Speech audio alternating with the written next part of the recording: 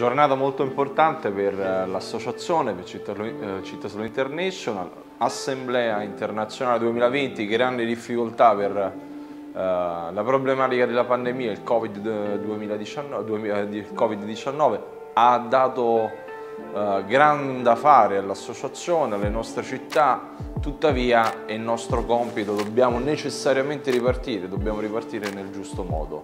Eh, Città Slow riparte dopo sei anni della mia presidenza, della quale sono eh, molto orgoglioso per il lavoro fatto, per tutti i contributi che le singole città hanno dato alla nostra associazione, ma è il momento di passare il testimone ad un altro sindaco eh, che ha dimostrato nel, suo, nel governare la sua città, nella partecipazione all'associazione, eh, un grande spirito di iniziativa e la volontà di andare oltre. Città Slow ha bisogno di andare oltre, ha bisogno di essere la bussola del, del futuro, dello sviluppo del futuro. Dobbiamo essere capaci di raccontare al mondo quanto, quanto sia importante recepire i principi Città Slow per ripartire dopo la pandemia quando la pandemia sarà passata, ma anche adesso.